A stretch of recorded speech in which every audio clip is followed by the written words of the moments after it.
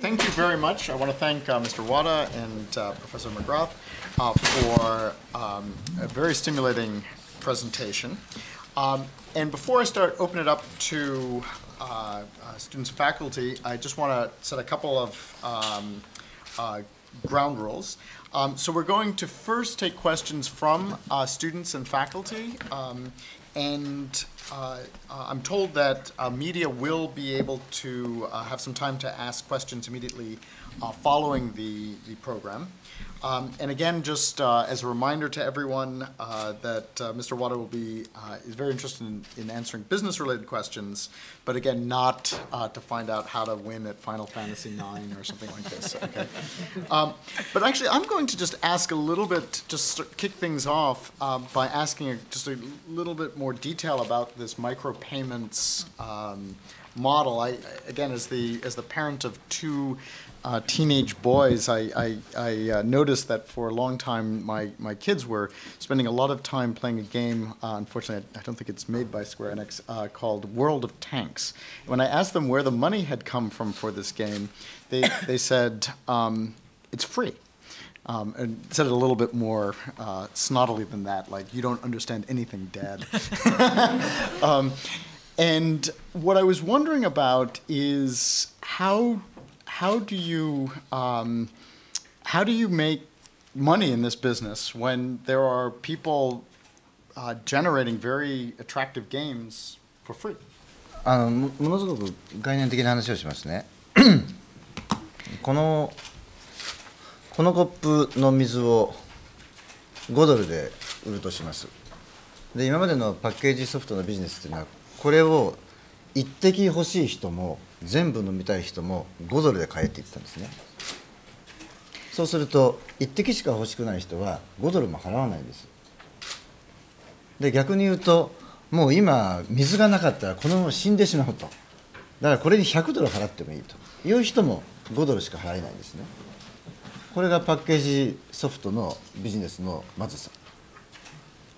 アイテム課金になるとこれが1ドル払いたい人は1ドル3ドルの人は3ドル100ドル払いたい人は100ドルとこれ自由にできるっていうことだと思いますまず概念的なことから言いましたそんな感じです Uh, so first, uh, let me talk about this conceptual analogy. Uh, let's assume that uh, this glass of water is five dollars, uh, and this was how the package business model uh, had been uh, deployed to date.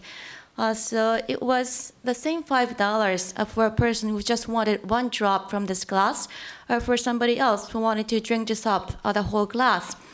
Uh, but uh, with the previous uh, package uh, software business model, a person who wanted to just take a sip or just one drop was not willing to pay five dollars.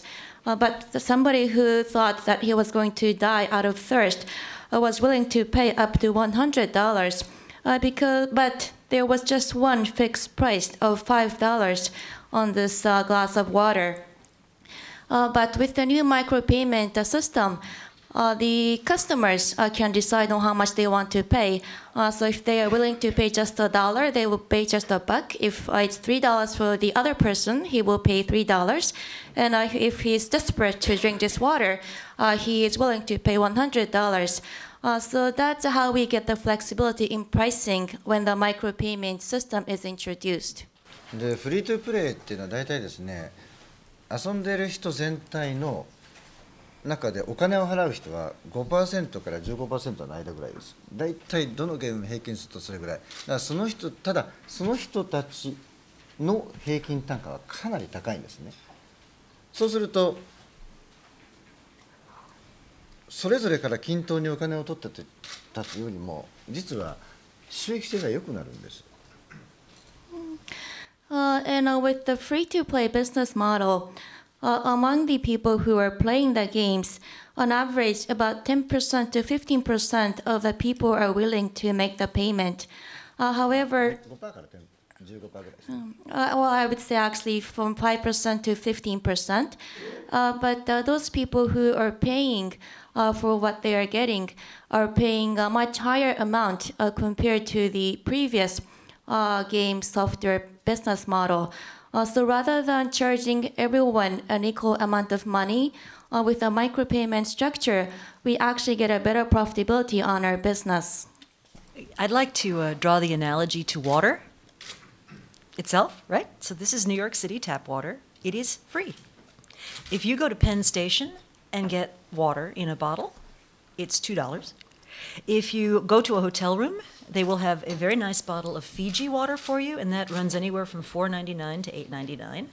And if you want to get water in a, in a hydrolyzed spray, which is advertised as moisturizing for you, that will cost you $25 a bottle. It's water. It's free. And people have figured out how to monetize that. So I think that's a really nice analogy I'd encourage you all to think about, which is what's the value that that customer is getting beyond the free stuff in the, in the glass? いやあの全くそうだと思うんですよねで水同じ水という物質をどう演出するかっていう時におっしゃったみたいにこういうやり方で出したり いろんな出し方をしますよね。最後のは女性しか使わないでしょうけれども。いろいろやり方があります。でゲームの場合もそうなんです。ゲームっていう体験っていうのは同じゲームのデータコードでいろんな体験ができるんですよね。だからそれぞれ別にパッケージングしなくてもいいんです。ゲームに同じゲームにアクセスしてもらえばお客さんによってゲーム体験が変わりますから。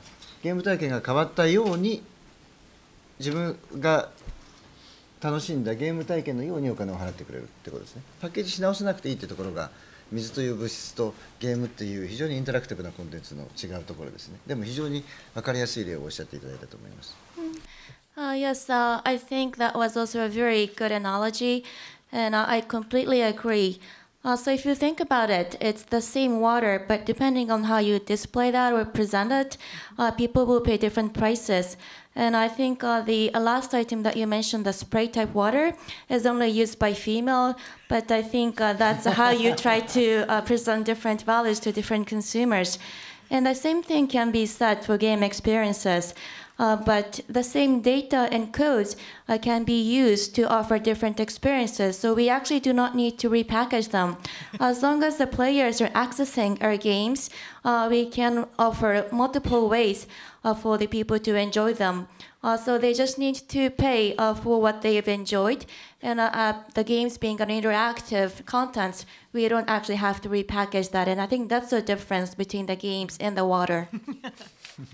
Uh, my question is that um, was this increasing popularity of uh, microtransaction-based casual gaming, uh, do you see a shift in talent or funding in the industry toward that kind of game? And does the Square Enix, you know, uh, popularity in the serious gaming industry kind of actually hurt the company's possibility of pursuing the casual gaming business? Thank you. 今あのマイクロペイメントのおゲームが出始めてまだ 非常に早々期なんですね。ですからマイクロペイメントって一言マイクロペイメントのカジュアルゲームって一言でおっしゃいましたけれどもそれが動くデバイスそれからマイクロペイメントっていう手法それからゲームのタイプこれが一緒にマイクロペイメントのカジュアルゲームって言われてるんです。でもこれ全部理論的には分けられる話なんですね。Um, it's uh, still a very early stage. Uh, since we've started to see games with these microtransaction or micropayment uh, features. Uh, and uh, you mentioned them as, I guess, one type of game, a casual games with micropayment features inside them. But actually, you can divide them down into different components uh, because these casual games are played on different devices. And you're also talking about a different methodology called microtransaction. And you're also talking about one type of game. And these aspects can all be separated out. これまずあの日本のセルフォンであのアイテム課金が非常に一般的になりましたこれなぜかっていうと電話料金に乗っけてあのお金を 要求することができたんですね。一回一回決済しなくてよかったんです。だからそのビリングが非常にスムーズになったってことで普及したんです。だからこれはあの単にあのなんなんていうんでしょうかね、えー、っと特殊なゲームということではなくて携帯電話のビリングシステムが便利だっただけなんです。そうなると携帯電話で動くゲームっていうのは簡単なものしかいけないんで自動的にカジュアルゲームになったんですね。というだけの話なんです。で一方あのかなりコアなファンが遊ぶゲームコンソールのゲームっていうのはゲームをを作る開発者の問題ではなくて実はゲームコンソールメーカーがマイクロペイメントのあの仕組みを中に入れてくれなかったんです。だからマイクロペイメントのものがないだけなんです。ですからどんなデバイスでもマイクロペイメントがあり得てでどんなコンテンツでもハードからものすごく簡単なものがどんなコンテンツもマイクロペイメントになり得るんです。And uh, in Japan, with the uh, cell phone games, uh, the micropayment uh, games uh, first started to become very common. And uh, this was only because uh, the micropayment was incorporated with the billing system that cell phone charges. So you didn't have to make the payment every time you purchased some small items. So it was not the special games that drove this market. It was just the fact that the billing system for the cell phones was convenient uh, enough uh, for those microtransactions uh, to be done on the cell phones. And with the cell phones, given its capability, it was only the simple games that can be operated on that device. Uh, so automatically, uh, the micropayment became popular and available for these casual games. And uh, when you look at uh, the more serious uh, games, if you say uh, per se, which is played on the consoles, it was uh, not uh, because of the uh, obstacles we had on the development side. It was actually the console makers who did not incorporate uh, the micropayment features uh, inside these devices. And that's why you don't have or you did not have uh, the micropayment features with these serious games to date. But if you just think about that, the micropayment transaction should be available on any type of devices, and it should also be available available for any type of contents, uh, be it the casual games or the serious games. だから本当はですねスマートフォンでゲームを作りたい人カジュアルゲームを作りたい人マイクロペイメントのビジネスモデルを適用したい人これそれぞれ別の動機なんですよねだからどれか一つの動機を持ってると今のいわゆるソーシャルゲーム屋に人がさらわれるというのは事実です。これは非常にスタートアップ時期だからしょうがない。でもだんだんみんな理解するようになると要するに自分は何やったかやりたかったかということが明確に分かるようになります。これ全部分かれて考えることができますから。だけど今ご指摘のご質問のようにですねあの取られることがあるんでしょうかというと勘違い君がやや流出しますね。でももうそろそろそれもピークアウトしますから平準化してくると思います。今でもいまだにジンガなんかすごい距離を取ってますよね人 Uh, so uh, there are people who want to create the games for the smartphones. Uh, there are other people who want to create the casual games. And uh, there are other people who want to take in the micropayment features into their games. And all of this is coming from different motivations. Uh, but uh, if you just uh, try to pursue one of those, uh, then you just end up uh, going into the social games. And I think uh, the talent and also the uh, fund may be going going into that social game genre because it's it's only a startup period right now, and uh, these uh, people with different motivations at this point do not know what they actually want to pursue. But once they build up their experience, I think their motivations will become more clear. Uh, so at this point, yes, because uh, the uh, the casual game uh, market is still a young industry, uh, the talent uh, is going into that market. But I think uh, people will start to realize what they want to pursue. Uh, and I think uh, the talent will be evenly spread out into the different genres of games. But I know that the companies like Zynga is hiring people like crazy. It seems like there are kind of distinct markets, the, the casual gamers versus the hardcore gamers. Is there an overlap between them? Is there an effort to convert one to the other? Is there a particular focus on one group by the company? あの結論的に言うと両方なんですねただここでカジュアルゲームかハードコアゲームかっていう定義はよく考えなきゃいけませんじゃないと両方やるってことにいうことが何を言ってるかわからないので 定義は僕なりの定義を今から言いますね、まあ、結論的に言うと両方やるってことですけど Uh, so, uh, in a nutshell, we are going to pursue both. Um, but uh, we need to have an accurate definition of what casual games are and the hardcore games are if we wanted to pursue both. So, let me explain my thoughts on these two types of uh, games. 例えばあのゲームが複雑なゲームかあの簡単なゲームかっていうことはあのカジュアルかハードコアかの差ではないと思うんですね。それからお金をどっちにいっぱい払ってるか払ってないかっていうのもカジュアルかハードコアではない。唯一の違いは時間の過ごし方ですよね。ものすごくゲームやる気満々でやるのか暇つぶしでやるのか。それは区別しなきゃいけません。そういう意味ではゲームやる気満々のゲームも暇つぶしのゲームも両方作っているつもりです。で前半の例をいきますと例えばビジュエルドっていうのはどう考えてもカジュアルゲームなんですけれども皆さんの定義だと。ただ僕の定義ではカジュアルゲームじゃないんですね。だってビジュエルドを延々と20時間遊ぶ人もいるんです中には。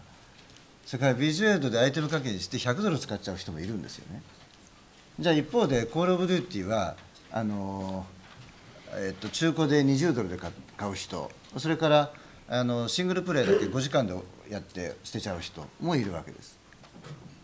でも世の中で言われてるのはどう考えてもコール・オブ・デューティーハードコアですよねでもお金も時間もそうじゃない使い方もできるんですですからどういう時間の使い方かっていうことでセグメントした方がいいと思うんですよね uh, define a difference between the uh, casual games and the hardcore games. Uh, the difference is not the matter of if the games are complicated or simple, or how much you spend on those games. I think the only difference between the two is how the time is spent on playing the games. Uh, for the casual games, I would say that people are playing those games to kill their idle time.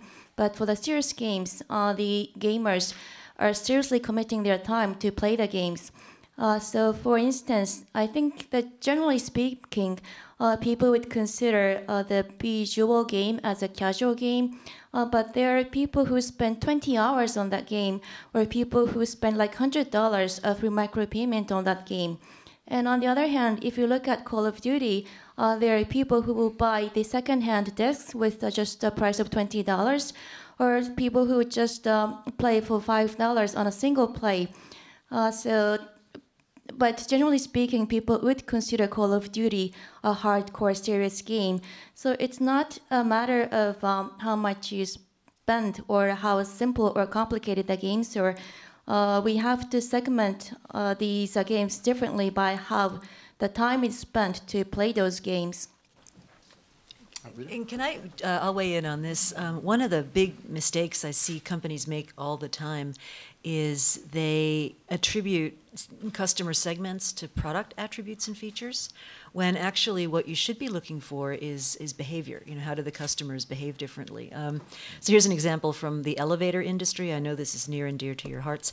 Uh, but, you know, traditionally in elevators, you said, well, you have a low-rise elevator or you have a mid-rise elevator, or maybe you've got a high rise elevator, right? And it's classic product segmentation. And yet, if you look at how building owners think should think about their customers, you've actually got three very distinct behaviors that the customers exhibit. Uh, first behavior take care of the elevator for me. I do not want to waste one iota of emotional or intellectual energy on it. I'll pay a good price, give me a good service, take care of it for me. Next customer, uh, show off. I want to see the elevators an extension of my brand. You know, I want it to smell like hyacinths in the springtime, that kind of stuff.